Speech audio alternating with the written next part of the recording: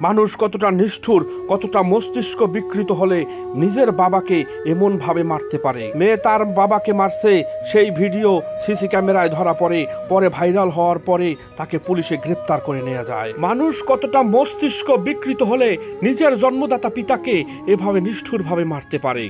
যেই বাবা নিজের শরীরের রক্ত পানি করে খাইয়ে পড়াইয়ে বড় করে, সেই বাবা তার মেয়ের হাতেই নির্যাতিত হয়। একটা সন্তানকে বড় করতে, একটা সন্তানকে মানুষ করতে, একটা বাবার কত পরিশ্রম লাগে, কত কষ্ট করতে হয়, কতটা স্বপ্ন বিসর্জন দিতে হয়, সেটা শুধু একটা বাবাই জানে। একটা বাবা তার পাঁচটা সন্তানকে লালন পালন করতে পারে, তাদের ভরণ পোষণ দিতে পারে, খাবার দাবার দিতে পারে।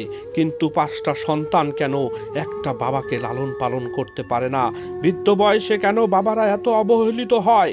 বৃদ্ধ বয়সে কেন সন্তানদের দ্বারা এত নির্যাতিত হয়? বৃদ্ধ বয়সে একজন মানুষ কতই বা খায়? কতই বা তার পিছনে খরচ? তবুও কেন বাবারা নির্যাতিত হয়?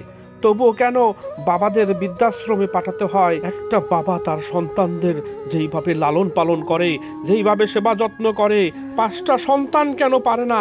একটি বাবাকে সেইভাবে লালন পালন করতে, বৃদ্ধ বয়সে একটু সুখ দিতে, একটু শান্তি দিতে, তাহলে তো আর এমন ঘটনা ঘটতো না। আজকে হয়তো সিসি ক্যামেরার কারণে এই ঘটনা প্রকাশিত হয়েছে, পুলিশ জানতে পেরেছে, পুলিশ মেয়েটিকে ধরে নিয়ে গেল।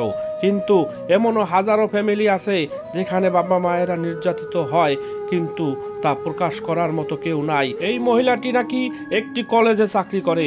সে কি শিক্ষা অর্জন করল যে তার বাবা মাকে শেষ বয়সে একটু সুখ দিতে পারল না, বরং বাবাকে নির্যাতনের কারণে আজকে তাকে জেলে যেতে হলো। আজকে সারা বাংলাদেশের লোক দেখছে, তাকে বকা দিচ্ছে, গালি দেখছে কিন্তু কেন? আমাদের ব্যবহার কেন এত খারাপ হবে? আমরা কবে মানুষ হব? মানুষের মতন মানুষ হব? মানুষের হয়ে মানুষের সেবা করব। একজন বাবা মা তার সন্তানকে যেভাবে ভালোবাসে, আমরা সন্তানরা কেন বাবা মাকে সেইভাবে ভালোবাসতে পারি না? বাবা মায়েরা সন্তানকে যেভাবে ভালোবাসে, সন্তানরা যদি বাবা মাকে সেইভাবে ভালোবাসতো, তাহলে বাংলাদেশে বৃদ্ধাশ্রম নামের কোনো কারাগার থাকতো না। কোনো বাবা মাকেই নির্যাতনের শিকার হতে হতো না। বৃদ্ধ বয়সে এসে তাদেরকে এই অসহায়ভাবে তাকিয়ে থাকা লাগতো না। আজকে যেই মেয়েটাকে তার বাবার সামনে থেকে পুলিশে ধরে নিয়ে গেল। সেই মেয়েটাকেই একদিন কত আদর যত্ন করে বড় করেছিল। আজ অসহায় বাবা নির্বাক হয়ে তাকিয়ে রইল, তাকিয়ে তাকিয়ে দেখল, কিন্তু কিছুই বলতে পারল না। কারণ আসছে বাবা অসহায়, এই পৃথিবীর কোনো বাবার অবস্থাই যেন এই বাবার মতো না হয়। ভালো থাকুক সকল বাবারা, ভালো থাকুক সকল সন্তানেরা। বৃদ্ধ বয়সে এসে কোনো বাবারই যেন এমন অবস্থার পরিণতি না হতে হয়।